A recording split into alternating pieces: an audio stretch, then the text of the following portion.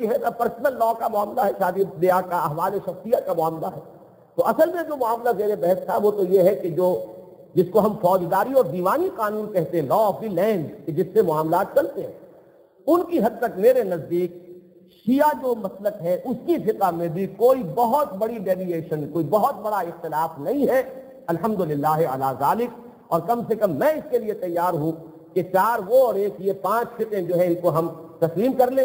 और इनमें जहाँ भी अक्सरियत हो जाए, उसके मुताबिक हम फैसला कर लें। ये भी एक रास्ता बन सकता है फिक्री इख्तलाफात के हल का और मुल्क में इस्लामी निज़ाम और कानून की तनफीज के रास्ते की जो सबसे बड़ी रुकावट है, उसको दूर कर लें।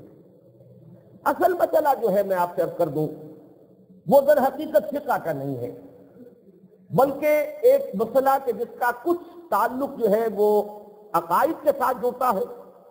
लेकिन ज़्यादातर जिसका ताल्लुक जो है वो पॉलिटिकल थॉट से है।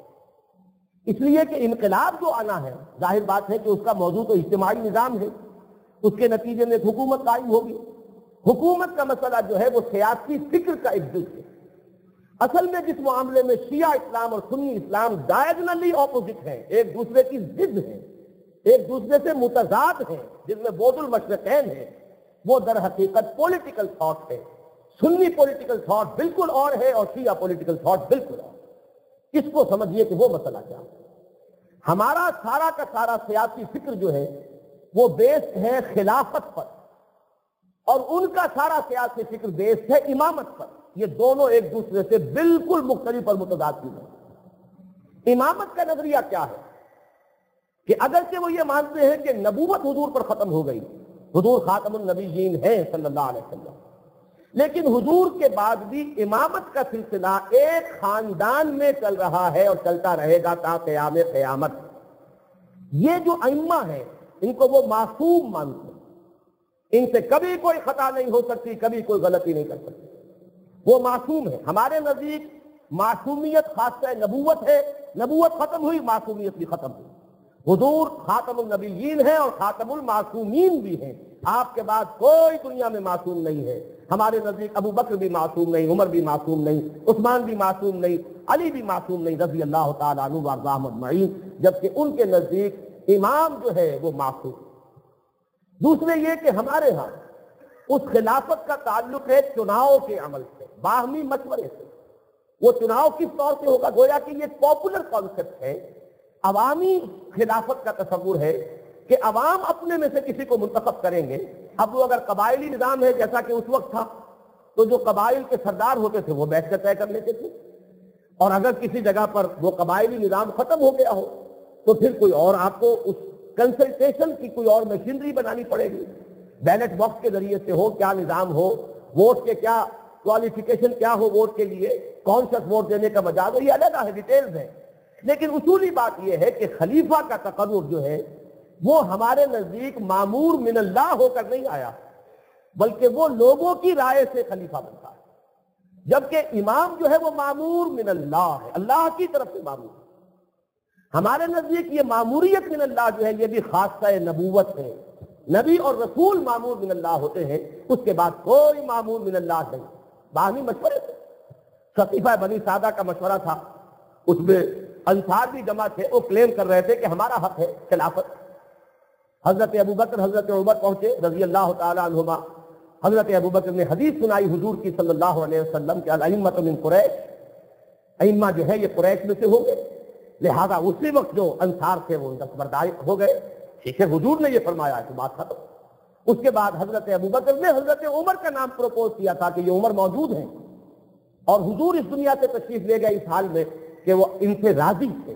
लिहाजा इनके हाथ पर बैठ कर लो हज़रत उमर ने जबान से कुछ कहने की बजाय हज़रत अबू बकर का हाथ खींचा, यानी प्रोपोज जो है, वो लफ्जन नहीं किया, अमलन किया और हाथ पर बैठ कर दी मैं आपके हाथ पर बैठ सकता हूँ। इस पर टूट पड़े लोग। इसलिए कि हुजूर की तरफ़ से ये इशारा तो मौजूद ही था कि अपने मरद वफात में हुजूर ने इमामत किसको दी थी? हज़रत अबू बकर को।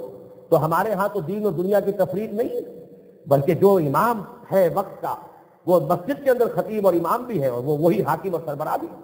खुद हुजूर सदर ममलकत भी थे। और मस्जिद नबी के खतीब और इमाम भी थे। लिहाजा ये इमामत जो है हमारे यहाँ वो इमामत नहीं है कि इसको क्या समझे ये बेचारे दो रकत के इमाम। कौम क्या चीज़ है, कौमों की इमामत क्या है? इसको क्या समझे ये बेचारे दुरकत के इमाम? तो ये तो हमारा तस्वुर तो इमामत का वो नहीं। लिहाजा हजूर का वो इशारा मौजूद था, हज़रत उमर ने हाथ फेंका और सबसे बैठ कर दी बाद में हज़रत अबू बकर ने हज़रत उमर को वहाँ जो भी उनके मजलिस मुशावरत थी उनके मशवरे से नामजद कर दिया। उसके बाद हज़रत उमर ने छह आदमियों का, छह अफराद का एक बोर्ड बना दिया कि ये तय करेंगे। लेकिन ये नहीं है कि कोई मामूर मिनल्ला है, कोई एक नस्ल चली आ रही है, उसी नस्ल में ये काम चलेगा। तो यहाँ भी हमारे और शिया मकतब फ़िक्र में ज़मीन और आसमान का फ़र्क है कि उनके नज़दीक तो इमामत नंबर एक ये कि वो मासूमियत है, अमासूमियत का मजहर है, और दूसरी तरफ़ ये कि वो हज़रत अली ही के नस्ल में चलेगी, इसके सिवा कोई और इमामत का मामला नहीं। और वो मामूर मिनल्ला है जो भी इनके अइम्मा। तीसरी बात यह कि मुफ्तर एक इतलाह है, जिसकी इतात जाती तौर पर और शख्सन वाजिब हो। एक तो यह है ना कि आप हैं, एक मनसब पर आ गए तो मनसब की हैसियत से आपकी इतात की जाएगी, शख्सन नहीं। जिस तरीके से कि रसूल का मामला होता है कि रसूल की इतात में शख्सी इतात वहाँ तो हुजूर सल्लल्लाहु अलैहि वसल्लम की जाती इतात अगर आप नहीं करेंगे तो आपका इस्लाम मोतबर नहीं। तो इमामत के नज़रिए में भी अइम्मा जो है इनके शियों के, वो मुफ्तर है। उनकी इतात फ़र्ज़ है, उनकी जाती हैसियत। ये तीनों खसाइस हमारे नज़दीक सिर्फ़ नबूत का खासा है। जबकि इन तीनों बातों को हमारे शिया भाई अपने अइम्मा के बारे में तस्लीम करते हैं तो ज़मीन व आसमान का फ़र्क है चौथी बात जो है नबूवत की, उसमें थोड़ा सा फ़र्क है। हमारे नज़दीक वही का सिलसिला खत्म हो गया, कुरान मजीद आखिरी वही है। नौर इंसान आम आखिरीन। हामिले रहमत आलमी लेकिन हमारे शिया भाई भी ये तो मानते कि वही नबूत खत्म हो चुकी। लेकिन इस वही की सही इंटरप्रिटेशन सिर्फ़ इमाम कर सकता है। आप तो लफ्जों को समझेंगे ना, लफ्जों से बात समझेंगे। इस आयत का मफहूम क्या है, इसका मंशा क्या है, फला आयत है, फला आयत है। इनमें मुताबिकत पैदा की जाए तो क्या नतीजा बराबर होता है? वो ये कहते हैं कि नहीं, ये जो ज़ाहिर है कुरान का जो हमारे सामने है, हम तो ज़ाहिर के बारे में सोचते हैं अइम्मा जो है दर हकीकत कुरान के बातिन को जानते हैं। लिहाजा इंटरप्रिटेशन का हक सिर्फ़ अइम्मा को हासिल यानी कुरान का होना अपनी जगह है, लेकिन इसकी ताबीर और तशरी का हक सिर्फ़ अइम्मा को है। यहाँ मालूम हुआ कि उसमें से भी कम से कम आधा हिस्सा जो है, कि नजूर अगर से वही का उन पर नहीं हो रहा है, लेकिन इस साबित वही जो पहले उतरी थी उसकी सही इंटरप्रिटेशन सिर्फ़ इमाम कर सकता है। तो ये चौथा जुज है कि जो उनके तस्वुर इमामत में शामिल है। ये है वो असल में मामला खिलाफत और इमामत के दरमियान ज़मीन और आसमान का फ़र्क। कि सुन्नी इस्लाम की बुनियाद है खिलाफत पर। और ये खिलाफत किसी खानदान की नहीं, बल्कि ये खिलाफत पॉपुलर खिलाफत है। पॉपुलर वाइस एजेंसी है। ये मुसलमानों का एक मुश्तरक मामला है। वो अपने राय से उस खिलाफत को किसी एक शख्स के कंधे पर उसकी ज़िम्मेदारी डाल देते हैं और वो, ये दर हकीकत उनकी राय से मुंतखब हुआ है और नस्ब हुआ है, वो मामूर मिनल्ला नहीं। अब इस पर गौर कीजिए कि ये जो है इमामत का और खिलाफत का तस्वुर, हम तो चूँकि हमारा तो तसलसल टूटा नहीं। खिलाफत अबू बकर के, हम कायल खिलाफत उमर के, कायल खिलाफत उस्मान के, कायल खिलाफत अली के, कायल रज़ी अल्लाह तजमाई लेकिन यह कि इन हजरात के लिए मसला बड़ा टेढ़ा हो गया। इसलिए कि इमाम जो है हुजूर के बाद इमाम अव्वल है हज़रत अली। बहसीत खलीफा तो वो चौथे नंबर पर आ रहे हैं। लेकिन इनके नज़दीक तो हक उन्हीं का था सिर्फ़ और वो मामूर मिल्ला है और मासूम है। लिहाजा उसके नतीजे के तौर पर पहले तीनों खुलफा को उन्होंने गासिब करार दिया, जालिम करार दिया। बल्कि ये कि उनकी किताबें जो है आप पढ़िए।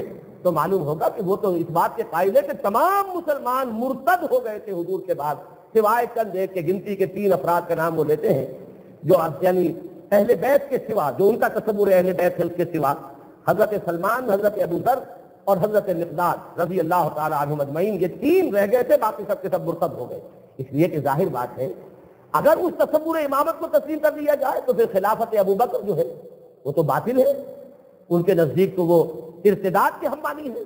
खिलाफत उमर फारूक रज़ी अल्लाह बातिल है। खिलाफत उस्मान बातिल है। तो इससे दर हकीकत ज़मीन आसमान का फ़र्क वाक़ हो जाता है।